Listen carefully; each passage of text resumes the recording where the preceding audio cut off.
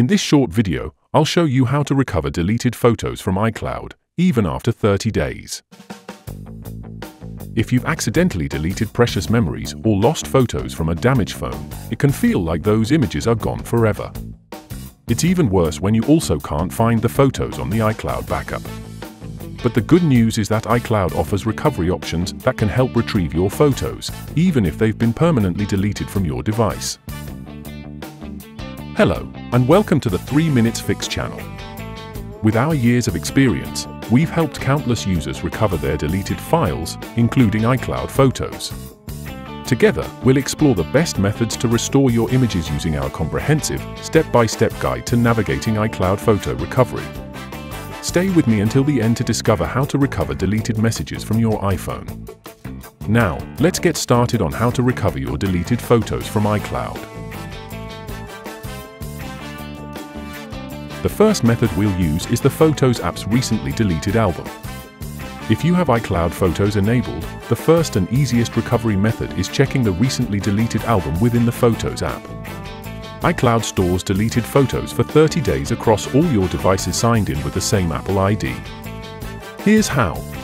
Open the Photos app. Tap on Albums, then scroll down to Recently Deleted. Select the photos you want to recover and tap Recover. This method is simple, but only works if the photo was deleted within 30 days and iCloud Photos was already turned on.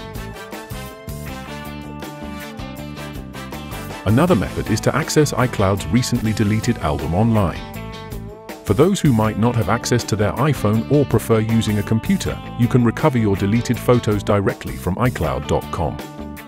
Here are the steps. Sign into iCloud.com. Click on Photos, and then on Recently Deleted in the sidebar. Choose the photos you want to recover and click Recover. This method allows you to recover photos that were synced across all your Apple devices, but again, only within the 30-day grace period. One other method is to restore from an older iCloud backup. If your photos have been permanently deleted after 30 days, recovery is more challenging. However, you can restore them if you had an iCloud backup enabled before the deletion. Here's how erase your iPhone's content by going to Settings, then General. Then tap Reset and finally tap Erase all content and settings. This will erase your iPhone completely. After the iPhone restarts, choose Restore from iCloud Backup during the setup process. You can watch our dedicated video on how to set up an iPhone. Next, select a backup created before the photos were deleted. Be cautious with this method, as restoring from a backup will replace all current data with the older backup data. Before we continue, if you're finding this tutorial helpful, don't forget to subscribe and hit the like button for more tech tips.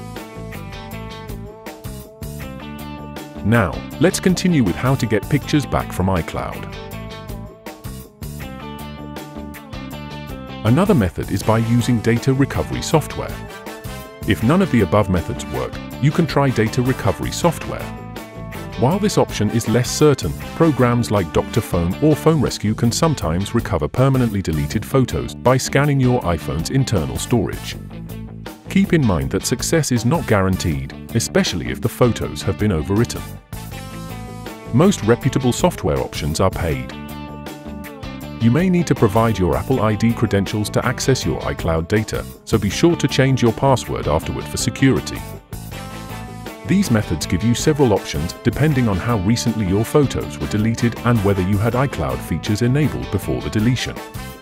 They are easy to use, requiring you to download and install the software, then connect your iPhone to the PC or Mac and follow the prompts. But what if it's messages that were deleted and you need to restore them? No worries. In this video linked here, I'll walk you through the simple steps to recover iPhone deleted messages.